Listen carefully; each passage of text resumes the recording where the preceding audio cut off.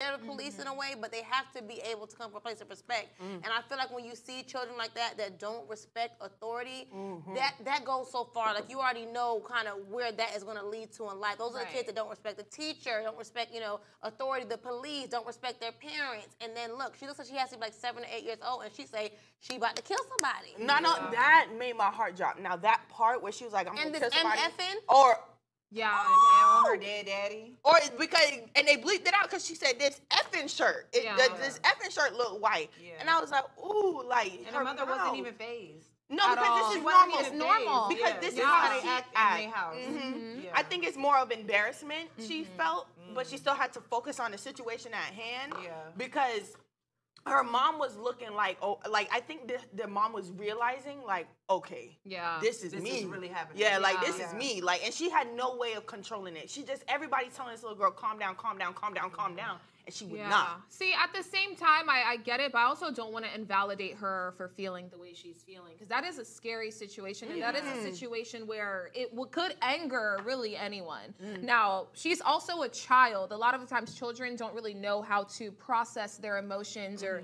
even um what's the verbiage that I'm looking for? They don't know how to really like their outlet may not be the same as a grown adult, someone yeah. who's been through life, someone who's been taught these things.